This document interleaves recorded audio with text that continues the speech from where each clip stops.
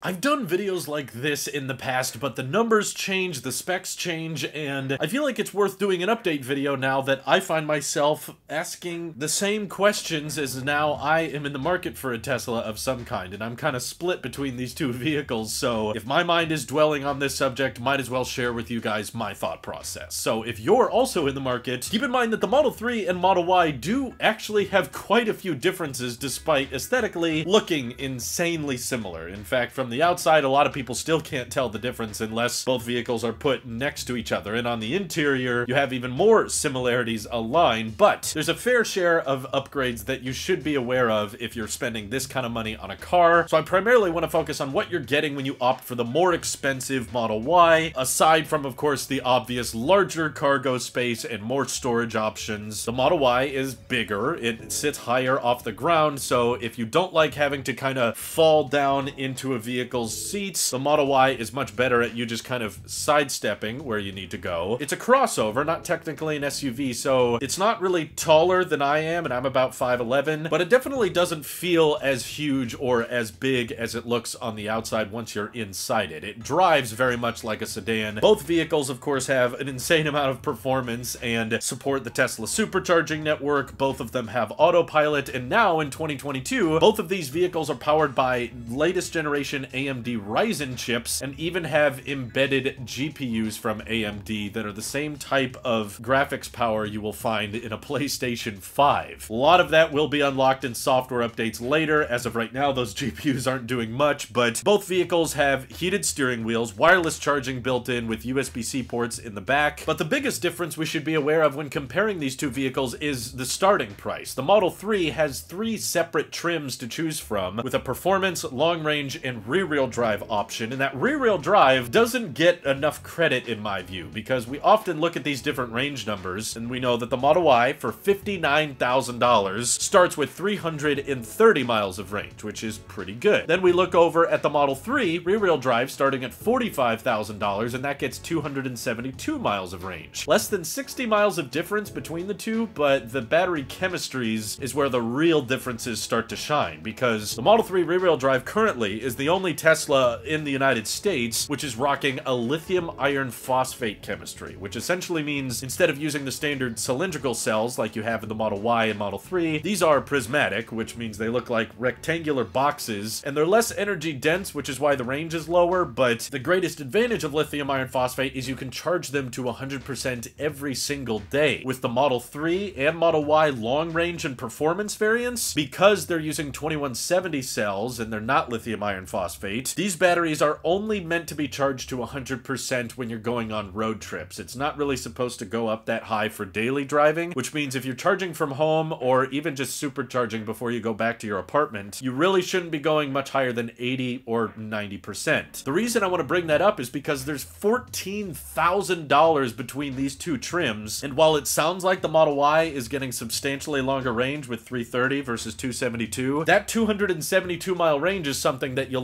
likely be able to start off with, assuming you're charging from home. You're going to leave the house with 270 miles of range every single day. Over time, of course, that battery will degrade as all batteries do. But the lithium iron phosphate chemistry is known for degrading a lot slower than the 2170 battery chemistry that they're using in the rest of Tesla's vehicles. So if you're only charging to 80 or 90% every day with the Model Y long range, you're actually going to be leaving the house around 280 or 290 most of the time. So not really that big a difference in range for daily driving and even on road trips. Because the Model 3 rear-wheel drive is a smaller vehicle, it's more efficient, and the battery doesn't have as many kilowatt hours in it, it means that on a lot of road trips, you're not actually going to be saving that much time because it really falls down to supercharging speed. I think the most deceptive thing about range that people take for granted these days is, oh, if the vehicle has a longer range, that means I start with 100%, I drive until it's near empty, and then I plug in again, and the vehicle charges all the way up to 100% and then I keep going. Well, that's how we are with combustion engine vehicles because that's the most efficient way to travel with gasoline cars. But with an EV and supercharging being baked into the Tesla software, it accounts for how long it's going to charge and how long it is till your next stop. And because of that, you're pretty much never charging up to 90 or 100% at superchargers. You're just charging enough until you can get to your next destination, which is why you'll find in a lot of road trip videos between a standard range Tesla like the Model 3 rear-wheel drive and a long-range Model Y, the amount of time it takes to get to your destination might be the difference of 15, 20 minutes. It's not going to be like you're there hours ahead of someone else who has 60 miles less range than you. That does bring me to one of the advantages the Model 3 has, though, if you're not comfortable with having sub 300 miles of range, and that is their all-wheel drive option. Of course, the long-range Model 3 has the longest range of any Tesla aside from the Model S, which is $95,000. And if you're watching this type of video, then the Model S is probably not on your radar. 358 miles for $51,000 estimated by the EPA, which is just value you do not see in the EV space. There's other competitors catching up close to 300 miles here and there, but to be under the $55,000 price point and still surpassing 350 miles of range is incredible. It says a lot about how insanely efficient the Model 3 all-wheel drive is, not to mention still being insanely fast, with a 0 to 60 time of around 4.5 seconds.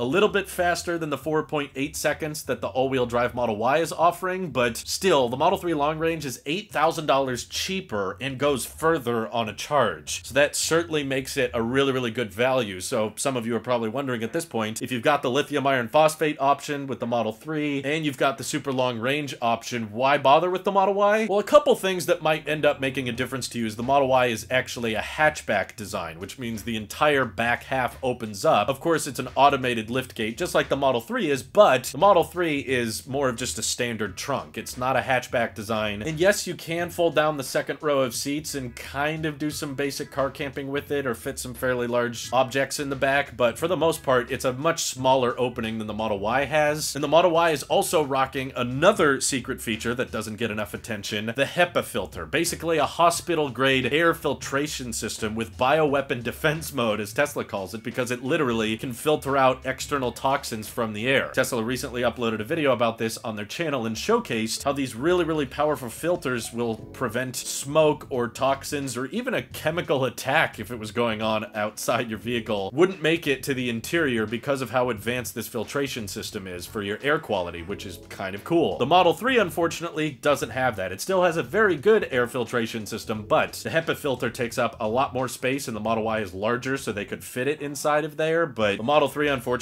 is too small, and it's the only vehicle Tesla makes that does not have the hatch design or the HEPA filter. The Model Y is also sporting a seven-seater option, which is actually pretty rare in crossovers of this size. You're not going to see that with the Mach-E, the ID4, the Ioniq 5. As someone who sat in the third row of the Model Y myself, it's definitely not good for people over 5 foot 8, but if you have kids, which most of the time if you're filling a car with seven people, there are going to be some of you that are smaller than others, the Model Y offers that. It's a $3,000 add-on, but considering that's the most number of people any Tesla can hold, it's kind of impressive that just for a little over $60,000, you can get a Tesla that fits seven people. If you want to get something better than a Model Y that fits seven, you're easily going to be spending over $100,000, and so far, the Model X deliveries have not been prioritizing anyone that wants the seven-seater. So, in the meantime, in recent history at least, it feels like if you want a seven-seater Tesla, you pretty much have to go with the Model Y. They even stuffed two USB-C charge ports back there, which I was kind of impressed with. However, no heated seats in that third row. However, for the Model 3 and Y, all five of the main seats in the first and second rows are heated, which is nice. But the second row passengers in the Model Y are probably going to have a much better view, especially when driving through scenic areas or in cities, because the Model Y has a panoramic glass roof, just kind of an unobstructed view of directly what's over the vehicle. Model 3 still has a glass roof, which is actually quite a bit safer than a traditional metal roof, despite what you may think, but it's got a crossbeam going right down the middle, which makes it a little bit more obtrusive if you're trying to look at what's above you. So the second row definitely isn't as spacious as the Model Y is. This comes from personal experience. Your knees have to be quite a bit higher in the Model 3 because it is a sedan. Your head is more likely to bonk in that side column, whereas the Model Y gives you plenty of breathing room and it's very comfortable to sit in. And it's also worth mentioning that at checkout, you can get a tow hitch with the Model Y for only $1,000 extra, whereas the Model 3, at least through the Tesla website in the United States, it does not offer a tow hitch. There are third-party options, but you kind of have to trust a lot of strangers or your own DIY capabilities because you got to take apart quite a bit of the car to install a tow hitch, and it's probably not going to tow as well as the Model Y does. But if you want heavy-duty bike racks or to attach a trailer to your Tesla of some kind, the Model Y is probably going to come out ahead there. Model 3 comes with 18-inch aero wheels by default, and if you're willing to take a little bit of a hit in range, you can opt for 19-inch sport wheels, but they will cost you $1,500 more. And it's somewhat of a similar story with the Model Y. The 19-inch Gemini wheels are standard, but if you're willing to take a hit in range, you can opt for the 20-inch inductive wheels for $2,000 extra. So they're kind of pricey, but they do look pretty awesome. And both the performance versions of Model 3 and Y come with 21-inch wheels, which look insanely cool, but they're gonna result in a bit more of a bumpy ride. And of course, the performance Teslas have a spoiler on the back, but far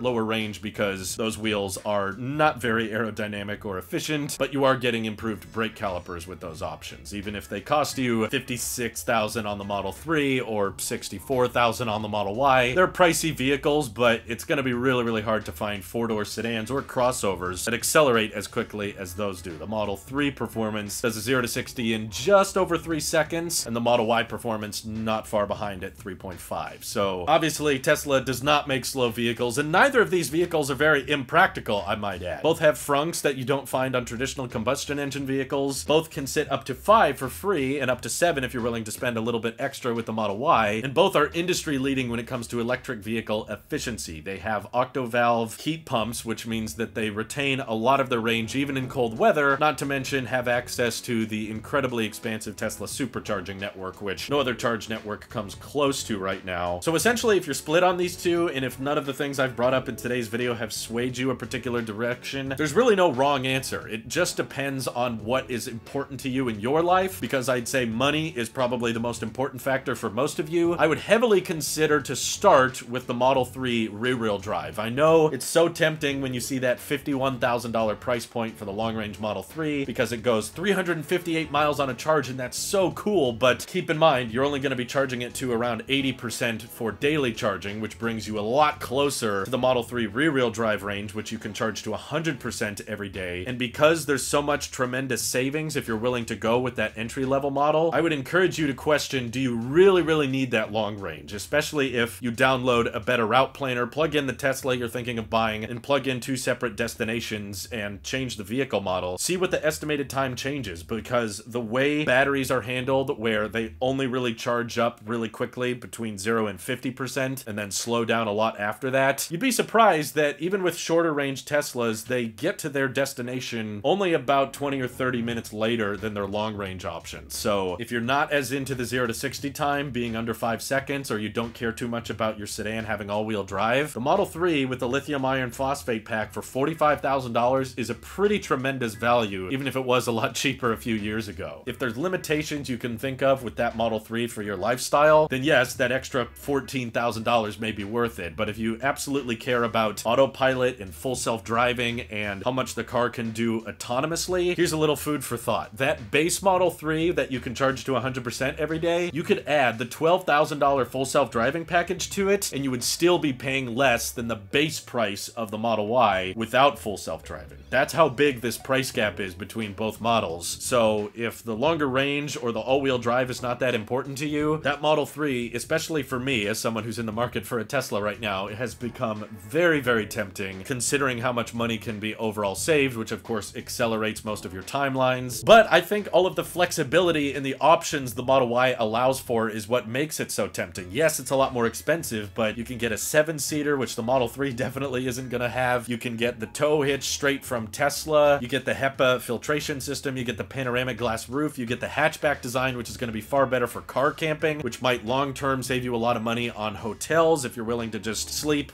within the car because both vehicles have camp mode, which keeps the air cycling in and out overnight without eating into too much range. So it's an incredibly tough call, and it's going to depend a lot on your use case which one makes most sense, but because I'm really split on this subject, I would love to hear what you think makes most sense for me, or what makes most sense for you. All that good stuff, let me know what you're thinking down below. Thank you to everyone supporting the channel over on Patreon, helping me buy one of these vehicles later this year, and everyone just watching, that seriously helps out a ton too. Take care, have a great day.